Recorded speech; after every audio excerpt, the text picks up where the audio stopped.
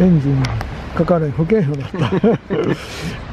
今まで一生懸命あのストレストレーナーとかパイ レールのパイプのとこ全部チェックしてね。でかなーかなーガス欠やそのこと言うてられへん。あの何年か前にエルシノアでああの大浦のとこで、ね。ガス欠しましたからね。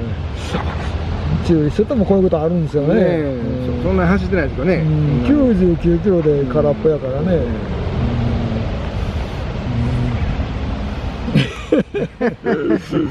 で洋華石油あそうですね。洋華石油さん。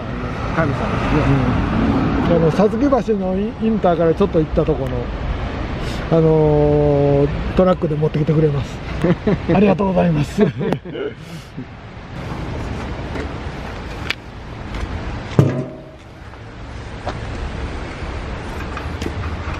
今からどちら向かわれるんですか？えー大阪和歌山方面。ああ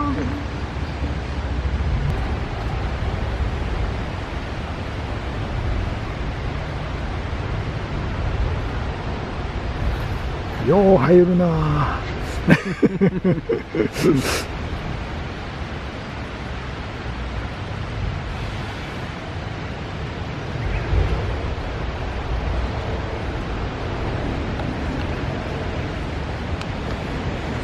わかるかな？かかるかな。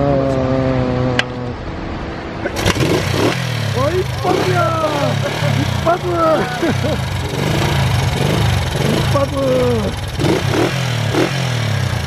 オッケー元気になりましたね。帰りましたか。いいくらい間に